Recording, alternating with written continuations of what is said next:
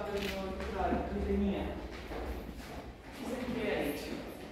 Am vrut să fie mai discret, puteam să-l fac altă culoare sau să-l acceptez sau să-i să găsesc o altă modalitate, dar am vrut să fie discret. Uh, și să, să, adică eu lucrez foarte mult cu text în perioada asta de câțiva ani, lucrez pe zona de desen și uh, transpunerea pe, pe textil a fost um, foarte...